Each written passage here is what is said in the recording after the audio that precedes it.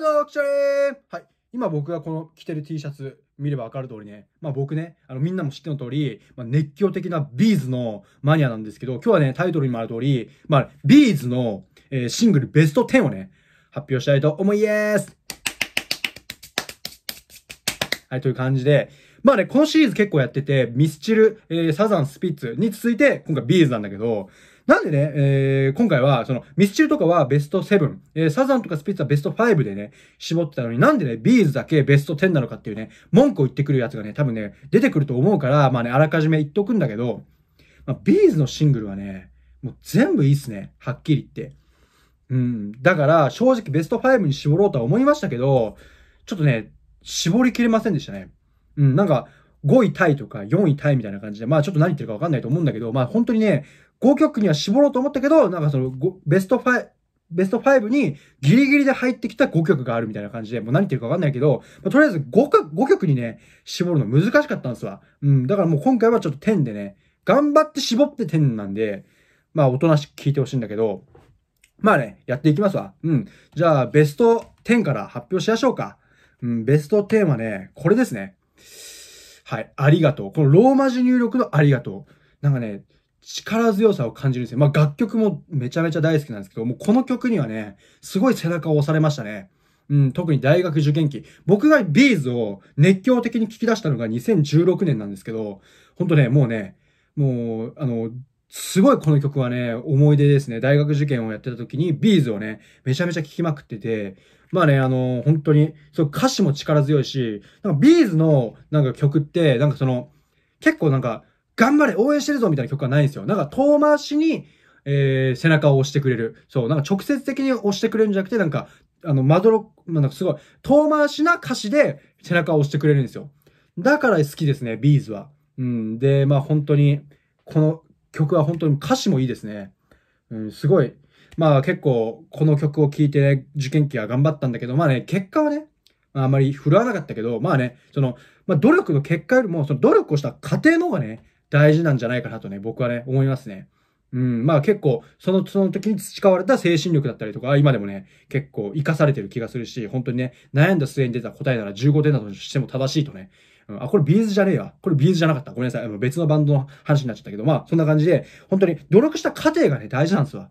うん、という感じだと、僕は勝手に撮ってます。はい、という感じで、すごいいい曲ですね。うん、ありがとう。確かね、これね、アルバム入ってないんですよ。ベスト版には入ってんだけど、オリジナル版には入ってないんですよね。という感じで、ありがとう。いやー、いいっすね。5、10位はこれでした。はい。じゃあ、9位紹介しましょうか。9位はね、これですね。うん。ブローイン。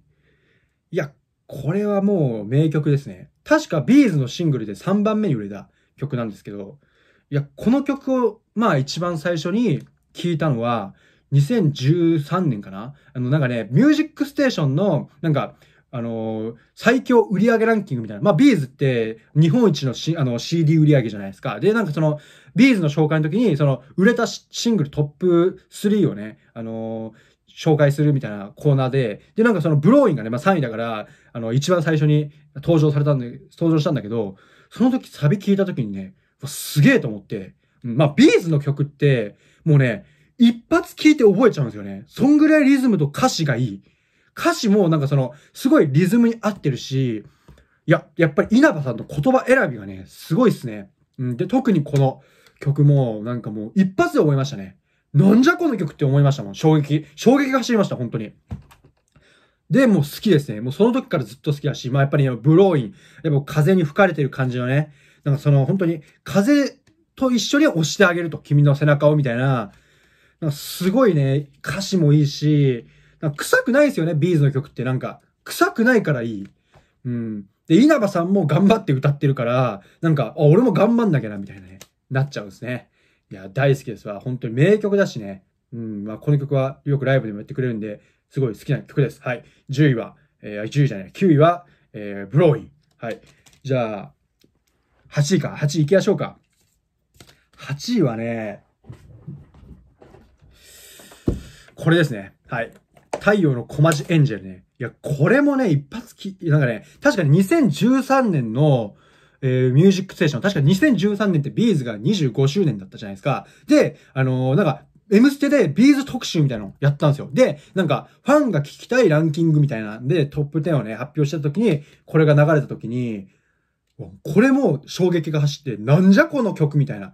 太陽の小町エンジェルって何みたいな。だから単語の意味は全く意味わかんないけど、なんか覚えちゃうんだよね。もう一発で聞いて頭から離れない。もう、もう前から言ってるけど、僕のいい曲の基準っていうのはもうね、一回聞いただけで、もう数回聞いただけで、メロディーが頭の中でもう繰り返される。反数されるっていう、もう本当に一発覚えちゃうって曲がいい曲の基準だよ。もう歌詞とかどうでもいいよ、正直。俺の中ではね。うん。歌詞ね、別にどうでもいいよ、本当に。だけども、それをね、最高、本当に。歌詞が、なんか意味わかんじゃない？小町エンジェルって何？みたいな、思うけど、もう覚えちゃうじゃん。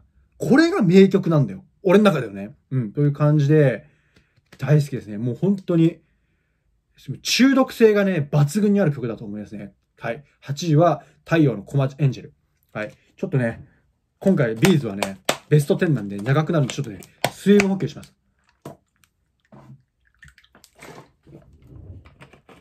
はい、という感じで、じゃあ、7位行きましょうか。7位はね、僕、これですね。はい。ゴールド。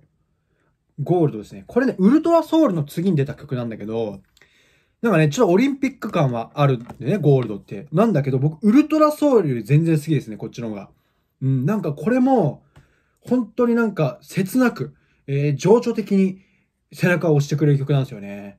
うん、これは、正直、ウルトラソウルよりは、どん、あの、ライブで、あの、やってほしい曲ですね。ウルトラソウル正直聞き飽きたんで、大好きですからね。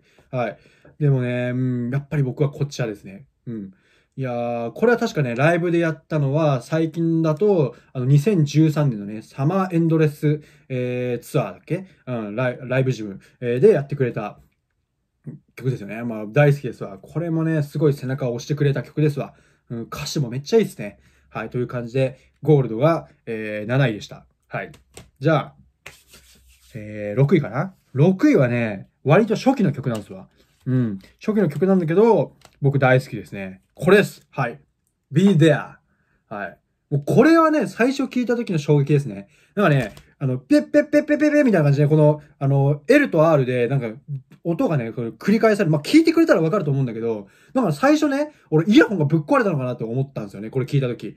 うん、だけど全然壊れてなかったですね。そういう曲でした。っていう感じで、これもね、もう本当に、あの、めちゃめちゃ好きで、衝撃でしたね。初期の頃からこんなクオリティの曲が出せるビーズはすごいなと思いましたね。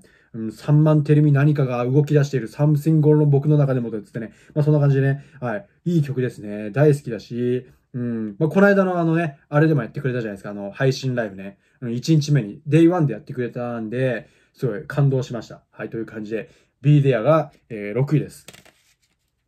はい。という感じで、じゃあね、えー、5位行きましょうか。5位はね、僕これですね。永遠の翼。うん、これはね、なんかね、曲調が最初ピアノテイストなんですよ。ドゥンツ、ドゥンツ、ドゥン、ドゥンって言ってね、ピアノテイストでね、最初は、切なく、真っ白い雲のつって、最初ね、ピアノだけの伴奏で、あの、A、A、A メロがね、歌出せるんだけど、サビからもうバンドテイストでギターが入って、ドラムが入ってみたいな感じで、なんか本当にコロッとね、ギャップ感がね、すごい、えー、好きですね。うん、サビと、その、あの、A メロのメリハリが、すごいびっくりした衝撃的な曲ですね。これはね、大好きだし、PV のね、そう、ミュージックビデオの、あの、本田翼がね、好きですね。うん。まあ、本田翼もね、ビーザーだった気がするんだけど、まあいいですね。大好きですね。これは。すごい切なくなれるし、力強さはね、感じますよね。この曲に。はい。という感じで、はい。えー、今、5位か。ちょっとすいませんね。えー、っと。はい、という感じで、すいませんね、ちょっと。ビーズはね、トップ10なんで長いですね。はい、じゃあ、4位行きましょうか。4位はね、これ。急に、君が、夢に出てきて焦った。はい、あ、すいません。歌い出しちゃった。はい、メイですね。はい。これ大好きですね。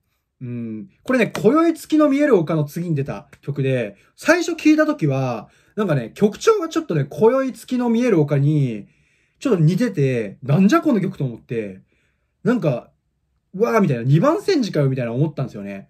なんだけど、なんかね、すごい気だるい感じ？そう。なんじゃこれと思ったんだけど、なんか、だんだん聴いてるうちに、なんか、いつの間にか、あの、病みつきになってたっていう曲で、すごいなんか、まあ、メイってまあ5月って意味じゃないですか。まあ5月病みたいな感じの、えー、ニュアンスで歌ったという情報ですけど、なんかまさにそんな感じ。なんかすごい気だるい感じが中毒性を生んでるんですよね。うん。で、今では、あのー、今宵月の見える丘より好きですね。うん、これは、うん、ライブでね、なんかやったんですけど、やったらしいんですけど、映像化されてなくて、あの、コンプリートボックス、なんかね、2016年じゃない、7年に、あの、出された、その、今まで出したシングルの、コンプリートボックスみたいなのに入ってる、あの、なんかライブ映像、ライブジム、それぞれのそのシングルごとのライブジムの映像が収録されてる DVD みたいなのに、これのメインのね、映像が収録されてるみたいなんですけど、ちょっとね、それね、僕ね、買いそびれたんで、ちょっと今持ってないんですけど、まあ、いずれかね、絶対手に入れるんだけど、そんな感じでね、まあ、これ大好きですね。4位はメイですね。これはいいわ。うん。はい。という感じで。じゃあ、3位行きましょうか。3位はね、これですね。うん。見えない力ですね。うん。これは、なんか、本当にね、力強い。大好きだし、うん、確か、ヌーベイのね、主題歌だと思うんですけど、いや、これを聞いたときは、本当になんか力を、エネルギーがね、すごいあの、みなぎった。そう、本当に見えない力が僕に、あの、加わったっていう曲ですね。やっぱりビーズの曲は力強いですね。うん、だから大好きなんだけど、特にもう好きっすね、これは。うん、よく、あの、なんて言うんだろう。ライブで、ライブ映像もね、結構、あの、見ましたけど、本当に力強い演奏をしてくれる曲ですわ。はい。まあね、これの思い出、これの思い出は特にないですね。特にないって言うと語弊があるんだけど、まあ本当に好きすぎてね、何回も聴いてる曲なんですわ。うん、という感じで、うん、じゃあ、えー、3位はこれですね。はい。という感じで、じゃあ2位行きましょうか。2位はね、僕これですわね。うん、これ。オーシャン。いや、これ名曲だよね、はっきり言って。うん。あの、サザンでいう津波みたいな感じで、なんか海を歌った名曲。僕の中ではサザンの津波と、このビーズのオーシャンなんだよね。いや、これさ、なんか、過小評価されてない？この間のさ、あの、ビーズライブジムの2019年のさ、ホールロッタニューラブではさ、僕行った公演では、これやってくれたんですよね。だからね、あの、今宵月の見えるかとオーシャンの日替わりでやって、僕はたまたま本当にオーシャンが聴けて、めちゃめちゃ良かったんだけど、好きですね。なんか本当にこの曲は過小評価されてる気がするような気もしますね。なんかその2013年のみんなが聴きたいビーズランキングにもこれ入ってなくて、いや、これでしょと思って。うん。ウルトラソウルとかさ、うん。なんか、どうせ選ぶんでしょ？君たち。つか、君たち、ウルトラソウルしか知らないんでしょ？うん。他にいい曲たくさんあるのにね、もったいないと思いながらね。まあね、本当にこれはね、僕、梅猿は見てないんですけど、この曲は当初ね、その当時聴いてた時いい曲だなと思って、本当に今でも好きな曲ですね。うん、本当に切なくなれる曲です。はい。という感じで2位はね、オーシャンでした。はい。じゃあ、年、あの、記念すべき1位行きましょうか。まあ1位はね、これしかないと思いますね。うん、これは本当に、これだ。はい。ビーズの願いですね。願いを叶えいつの日か、そんな、そんな、えー、っと、はい、えー、そうなるように生きていけ。まあ本当に、ま願いがね、願いを、願いを込めようっていうね、曲なんですけど、すごいね、稲葉さんの歌い方、いつの日かっつって、なんか、そこの歌い方がすごいね、好きなんですよ。その、願いを叶え、いつの日かっつっていうところが、好きですね。すごい中毒性があって、最初のピアノがね、いいですね。伴奏のイントロの、てんてんてんてんが始まって、いきなりその、あの、タク松本のね、あの、カッティングギター。確かあれは、あの、テレキャスターかな？それはちょっとね、フェンダーチック。やっぱ、タク松本って、やっぱりギブソン系のさ、そう、低音のさ、あの、ギャンギャンなってる、低音のギターが特徴だけど、この曲はね、なんかね、そのテレキャスター、その、結構、タク松本には珍しい、その、フェンダーテイストのギターのサウンドが聴けるっていうのが、すごい、この曲のなんか醍醐味というか、お、美味しい部分だとね、勝手に思ってんだけど、いや、いいっすね。タク松本はフェンダー系でもいい音を鳴らせるんだなっていうね、すごい大好きですね。これはちょっと別格ですね。うん、もう1位は正直言って何にしようかなって、まあ、結構迷ったんですよ。正直今回この紹介したトップ10は、どれも1位になってもおかしくない。ていうか、ほんと今の気分で選んだトップ10なんで、いつでもこのトップ10は1位になる可能性が、を秘めてるトップ10なんですけど、ちょっとね、今の気分だと僕はね、あの、願いがね、僕の中では1位ですね。うん、大好きですね。うん、という感じで、まあ1位はこれでした。はい。という感じで、まあね、今日ね、えー、この僕の動画をね、見てくれたね、ビーザーのね、皆さんね、ぜひね、えー、トップ10をね、教えてください。まあ、ビーズはね、本当日本一のバンドなんですわ。うん。正直ね、あの、一番好きなバンドなんですよ。 B'zがね。正直あの、動画とかでは、なんちゃらチルドンとかさ、なんちゃらオールスターズとかさ、なんちゃら、えー、なんちゃらスピッツとかさ、まあ、いろいろ紹介してますけど、まあ、正直ね、 B'zには叶いませんね。もう B'zはね、もう日本一だからね、もう文句なしなんですわ。やっぱほんとシングルのクオリティがね、もう桁違いですね。という感じで、まあね、総括をしましたけど、まあね、えー、この動画を見てね、わ、こいつのランキングはちょっとね、他のにわかクソ野郎のランキングとは、ちょっと桁が違うと。話がもう違うと。面白すぎると。いやー、この人についていきたいと。この人は最高だと思ったね、ビーザーの方とか、まあね、この動画を見ちゃった人とかね、えー、まあ多分僕の中毒、中毒になっちゃうと思うんで、ぜひね、チャンネル登録と高評価お願いします。はい。でね、インスタグラムとかツイッターをね、あの、ビーズと一緒にやってるんで、ぜひね、登録お願いします。あの、フォローね、お願いします。で、僕ね、あの、曲作ってますんで、ぜひね、曲を聴いてください。はい。という感じで、いつかね、僕もタク松本のようなギタープレイヤー、かつ、稲葉講師のようなね、最高のボーカリスト、本当にね、もう一人でビーズみたいになれるようにね、まあ、努力してますんでね、ぜひね、えー、今後ともね、えー、応援よろしくお願いします。はい。じゃあ、今日は終わりです。